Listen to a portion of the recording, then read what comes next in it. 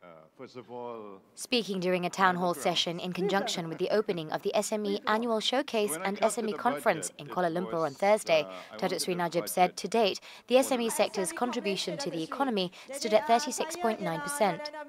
we need to really transform SMEs because SME will be the driving force for the economy in terms of employment generation, in terms of uh, GDP, wealth creation.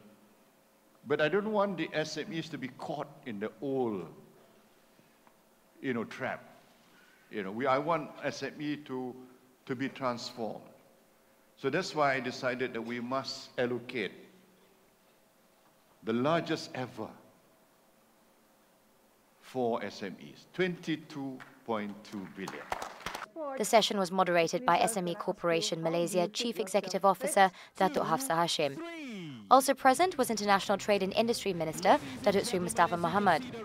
The Prime Minister took two questions during the town hall session, during which, among others, he elaborated on the reasons why he allocated 22.2 billion ringgit to the sector in the 2018 budget and his aspirations for the recently launched Digital Free Trade Zone DFTZ. According to him, the budget given to SMEs must be used for expansion of the sector, startups, export, and automation in relation to the fourth industrial revolution.